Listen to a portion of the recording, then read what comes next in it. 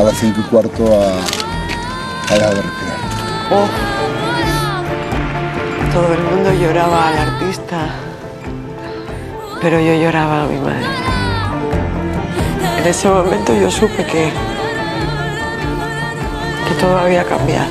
Rocío, contar la verdad para seguir viva. El miércoles a las 10 en Telecinco.